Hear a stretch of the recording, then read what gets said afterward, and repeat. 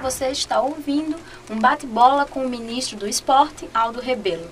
Em nossos estúdios está o pesquisador e especialista da China, José Medeiros, que também é vinculado à Rádio Internacional da China, e o jornalista Kerson Lopes, do Portal Vermelho. Bom, ministro, diante no Bom Dia Ministro, o senhor declarou que há uma expectativa de conquistarmos de 15 a 20 medalhas. Né? É, o senhor considera que o Brasil, então, está é, é, tá no caminho certo para evoluir nesse cenário, nos próximos, nesse, nessas Olimpíadas e também daqui a quatro anos? Eu creio que nós estamos no caminho certo, mas eu acho que há atalhos importantes para encurtar esse caminho.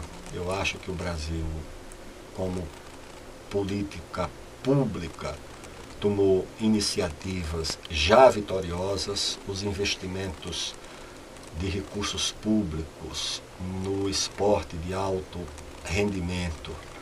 É um investimento crescente no Brasil, desde a criação do Ministério, da aprovação da Lei Aguinaldo Piva, a Lei de Incentivo ao Esporte, o Bolsa Atleta, agora nós vamos ter também o Bolsa Técnico, a nacionalização das Olimpíadas, ou seja, a tentativa de alcançar todo o país, que é um país desigual, um país desequilibrado regionalmente, socialmente, com os benefícios das Olimpíadas.